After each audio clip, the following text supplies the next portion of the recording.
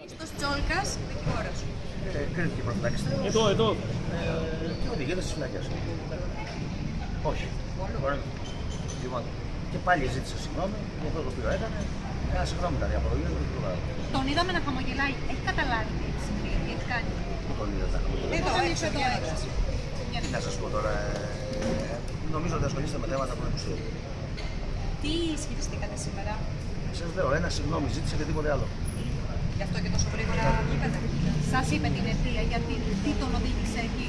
Ο ξενοδαρμό. Δεν χρειάζεται να το πω εγώ, το δείχνει το γραφείο. Ο ξενοδαρμό τον οδήγησε. Εκνευρίστηκε τόσο πολύ. Έφυγε η μήγυμνο από το σημείο. Εγώ δεν λέω ότι καλά έκανε. Για να το ξεκαθαρίζουμε.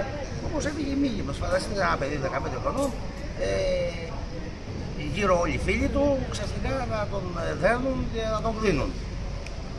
Και οι φίλοι του να γελάνε. Στις φυλακές Κορίνθου υπάρχουν ε, ανηλίκων, είναι ανηλίκων. Είναι ειδικό για ανήλικους.